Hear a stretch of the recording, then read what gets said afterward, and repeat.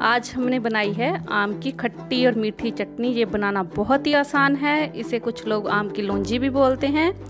तो इसकी वीडियो आज आपके साथ में शेयर करूँगी। इसे बनाना बहुत ही आसान है। इसे घर पर किस तरह से बना सकते हैं, ये बहुत ही ज़्यादा टेस्टी बनती है। स्पेशली बच्चों को तो ये बहुत ही ज़्यादा पसंद आती है। इसको बनाकर आप पंद्रह दिनों के लिए फ्रिज में भी रख सकते हैं। रोटी के साथ, दाल के साथ, किसी के साथ भी इसे खाएँ।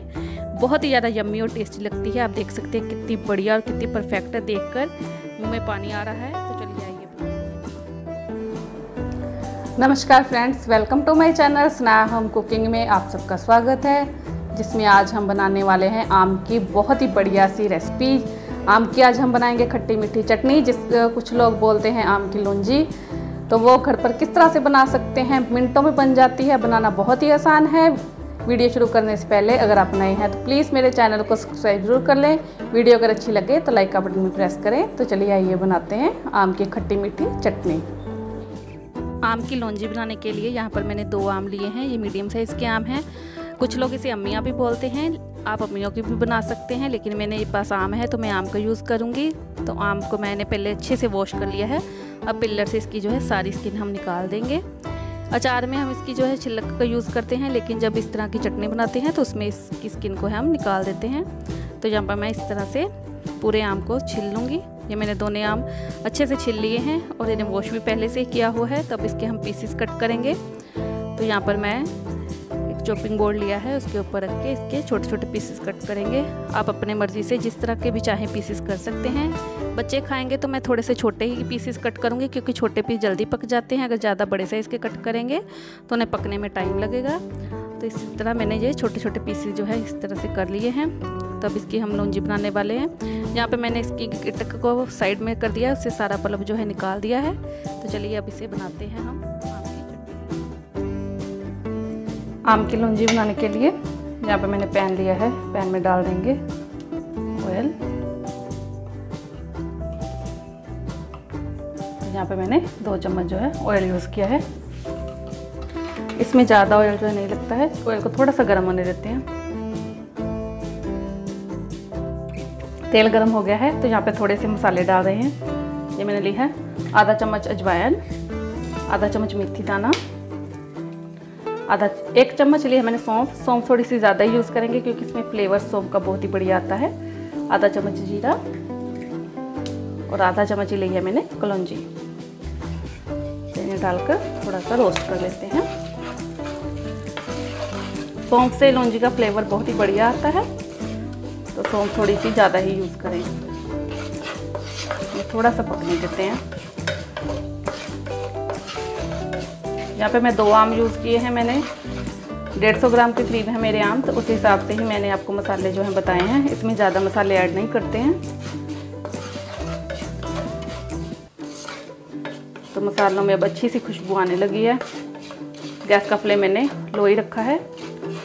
लो फ्लेम पर मसाले जो हैं अच्छे से भुन जाते हैं और स्मेल भी बहुत ही बढ़िया आती है। अगर हाई फ्लेम पे मसालों को पकाते हैं तो मसाले जो हैं जल जाते हैं। तब मसालों की बहुत ही बढ़िया सी स्मेल जो है आने लग गई है। तो यहाँ पे मैं डालने वाली हूँ इसमें कटे हुए आम, जिसको अम्बियाँ भी बोलते हैं, उनको डाल देती हूँ।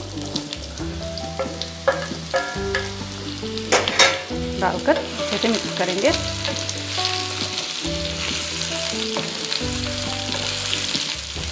गैस का फ्लेम लो ही रखकर इसे पकाएँ। जब हाई करना होगा तो मैं आपको बताऊँगी। अभी गैस का फ्लेम लो ही है। तो यहाँ पे मसालों को मैंने अच्छे से जो है मिक्स कर दिया है अम्मियों के बीच। अब यहीं पे मैं डाल रही हूँ इसमें थोड़ा सा नमक। ये मैंने सफ़ेद वाला नमक यूज़ किया है, क्योंकि इसमें अभी हम चाट मसाला और ब्लैक नमक भी यूज़ करेंगे। तो उस हिसाब से इसमें मैंने एक चुटकी जो है सफ़ेद वाला नमक यूज़ किया है। तो यहाँ पे कलर के लिए इसमें मैं डाल रही हूँ। ये रेड वाला फ़ूड कलर है। अगर आपके पास कश्मीरी लाल मिर्च हो तो वो भी यूज़ कर सकते हैं। इससे कलर जो है बहुत ही बढ़िया आता है। डालकर इसे मिक्स करें। जो है कर लिया है। इससे जो है कलर बहुत ही बढ़िया आएगा। तो यहाँ पे डाल रही हूँ मैं पानी। ये मैंने एक कप पानी लिया है। अगर मुझे ज़रूरत पड़ी तो मैं और पानी इसमें जो है ऐड करूँगी। अभी चेक कर लेते हैं। अगर पानी हमें और चाहिए तो वो डाल देंगे। गैस का फ्लेम मैंने अब हाई किया है। हाई फ्लेम पर इसे पकाएँगे, जिससे अम्मियाँ हमारी पक जाएँगे अच्छे से। तो पानी मुझे थोड़ा सा अभी कम लग रहा है, मैं थोड़ा सा पानी इसमें और डाल देती हूँ। तो यहाँ पे आधा कप पानी इसमें मैं और डाल रही हूँ। पानी डालकर इसे एक बार फिर से मिक्स करें।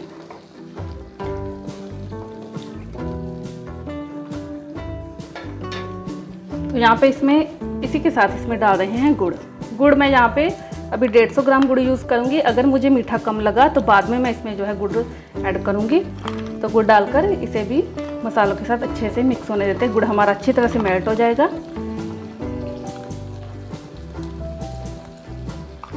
तो ये मैंने गुड़ इसमें डाल दिया है। तो बाद में जब ये गुड़ मेल्ट हो जाएगा तो हम इसे एक बार चेक कर लेंगे कि हमें गुड़ कम लगा, मीठा कम लगा तो और गुड़ हम इसमें ऐड कर सकते हैं। तो इसे ढककर मैं पकाऊँगी हाई फ्लेम पर।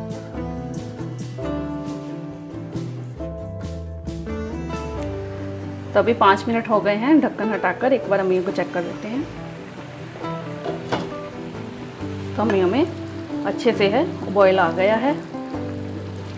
लेकिन अभी ये पक्की नहीं है। थोड़ी सी से अभी हमें और पकाना है। तो यहाँ पे मैं इसमें थोड़े से मसाले जो हैं, वो ऐड कर रही हूँ। यहाँ पे मैं डाल रही हूँ आधा चम्मच भुना हुआ जीरा।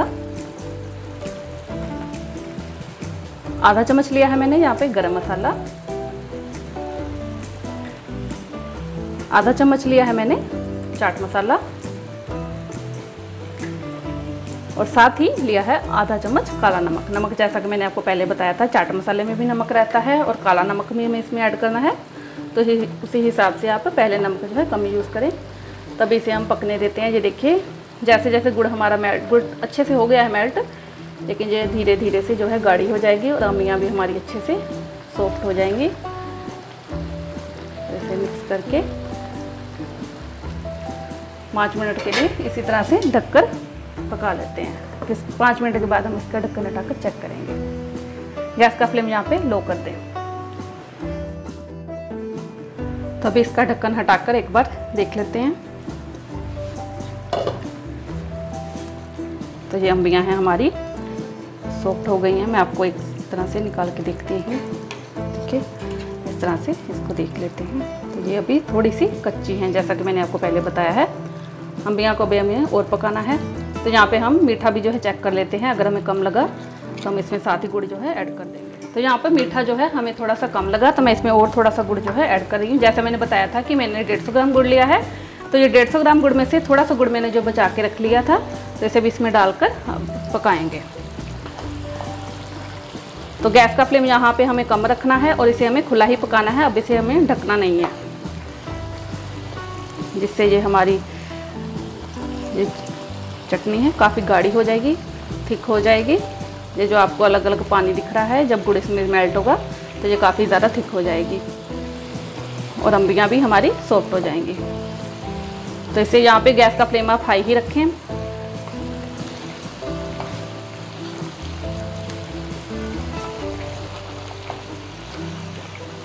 इसे चलाते हुए पकाएँगे। तो यहाँ पे जो मैंने गुड़ ऐड किया था, वो अच्छे से मेल्ट हो गया है। तो आम भी जो है हमारे, अम्मियाँ जिसको बोलते हैं, देखिए, ये भी पक गई हैं अच्छे से, सॉफ्ट हो गई हैं। तो इसे थोड़ा सा भी इसे और पकाना है, ज़्यादा हमें नहीं पकाना है। गैस का फ्लेम मैंने हाई ही रखा हुआ था, जैसा मैंने आपको बताया कि इसे खुला छोड़कर ही पकाना है। तो अभी ये आपको थोड़ी सी पतली लग रही होगी, लेकिन जब ये ठंडी हो जाएगी तो गुड़ हमारा जैसे डालते ठंडा होता है तो ये काफ़ी गाढ़ी हो जाएगी। तो यहाँ पे गैस का फ्लेम बंद करते हैं। और आम की लौंजी जो है हमारी बनकर हो गई है तैयार। यार, बहुत ही बढ़िया सी स्मेल आ रही है। तो इसे ठंडा होने के बाद इसे मैं कंटेनर में डालकर 10 से 15 दिनों के लिए फ्रीज़ में रख लेंगे। इसे हम ज़्यादा देर तक नहीं रख सकते हैं। 10 से 15 दिनों के लिए आप इसे जब चाहे आपका मन हो, आप इसे रोटी के साथ, पराठे के साथ, किसी के साथ भी खा सकते हैं। ये बच्चों को भी बहुत ही ज़्यादा टेस्टी लगती है और खाने में बहुत ही ज़्यादा डिलीशियस होती है। तो आप इस रेसिपी को घर पर ज़रूर ट्राई करें। वीडियो अगर अच्छी लगे तो लाइक का बटन प्रेस करें। साथ ही अगर आप नए हैं तो प्लीज़ मेरे चैनल को सब्सक्राइब करना ना भूलें। Thanks for watching.